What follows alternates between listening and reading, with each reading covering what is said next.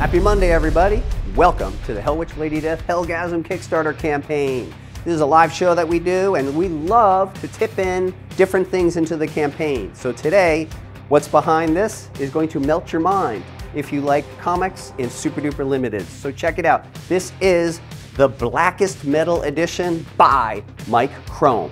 This edition, limited to 15 copies, 10 of which will be randomly inserted inside the campaign, meaning any physical backer could very well receive this. This is the sort of thing you could expect from your fiends at Coffin Comics.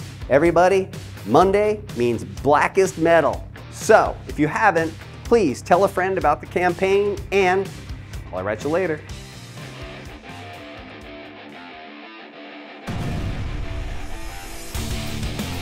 Hello, everybody. This is Brian Pulido, creator of Lady Death and Hellwitch. And we are back to unleash the most unexpected chapter of all an all new 64 page original graphic novel entitled Hell Witch Lady Death Hellgasm.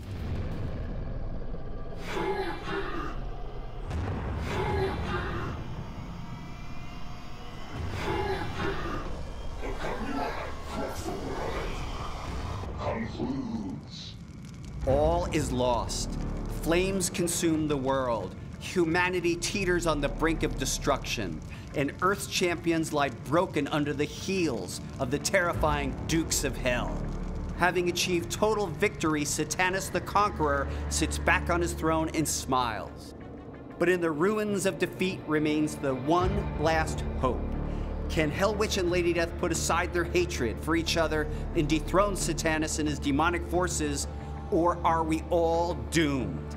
This is it, the sense shattering finale of the company wide crossover event, guest starring La Muerta, Hellwitch, Lady Satanus, and Chaotica. Helping me bring this devastating chapter to life is co writer Mike McLean, illustrator Diego Bernard, colorist Giuliano Paratelli, and veteran letterer Marshall Dillon. And look, here's the thing this project is done. We just got a print. I need your help to tell this tale. Please pledge now and tell everyone you know. Thank you so much for everything.